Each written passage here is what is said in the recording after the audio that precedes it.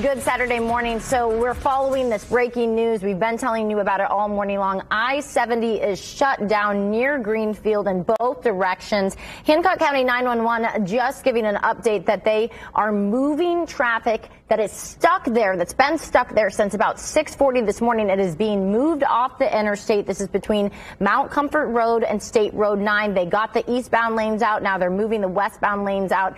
And Hancock County 911 says that this will be shut down for an undetermined amount of time is what they said. INDOT said for at least a few hours.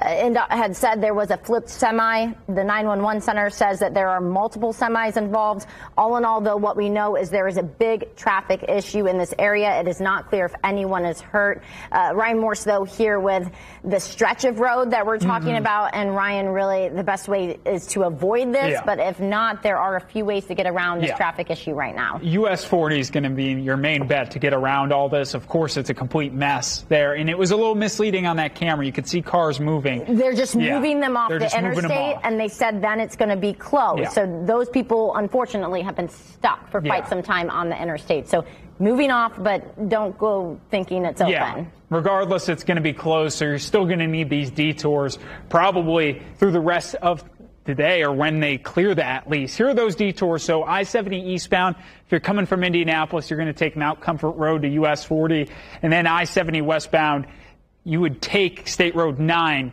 to again US 40. So US 40, the main detour here, that circle you see right there, that's where we have our camera stations.